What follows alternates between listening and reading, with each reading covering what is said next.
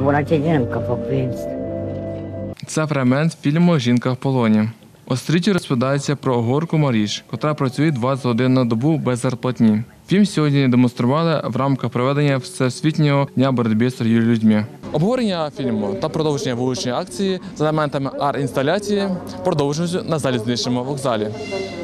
Подібна акція Хмельницької відбувається вдруге, розповідає начальник відділу соціального захисту населення Хмельницької області Любов Тимофієва. Проводиться акція по всій Україні, у всіх регіонах України. Ми теж долучилися і сьогодні проводимо вже другу акцію. Перша була е, в центрі міста Хмельницького, зараз на ЖД вокзалі, щоб по- попередити наших громадян та пересічних, які є гостями Хмельниччини, щоб не потрапити у ситуацію е, відносно протидії торгівлі людьми. Найтиповішими випадками є трудова міграція, додає Любов Тимофіїв. На сьогоднішній день в Хмельницькому по області нараховується 26 людей, які офіційно набули статусу протидії торгівлі людьми, отримали різні види допомоги. На Хмельниччині є ті, хто не має офіційного статусу постраждалих від трудової чи сексуальної експлуатації, каже голова благодійного фонду Ксена Оксана Устинова.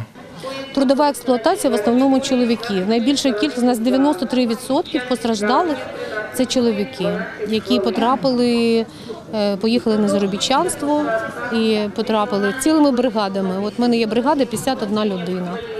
Приїхали, відробили 40 днів. Це вони вже потім просто тікали. Мати копії документів, що посвідчують особу, а також їх електронні варіанти це те, що потрібно, аби перестрахуватися, коли їдете за кордон, розповідає Оксана Устинова. Мати обов'язково кодове слово, якесь домовитися з родичами, що якщо там щось з тобою трапилося і тобі дали право одного дзвінка, і ти це кодове слово, воно має не виходити з контексту звичайного мовлення, Андрій Гуманий, Юрій Чорний. Новини.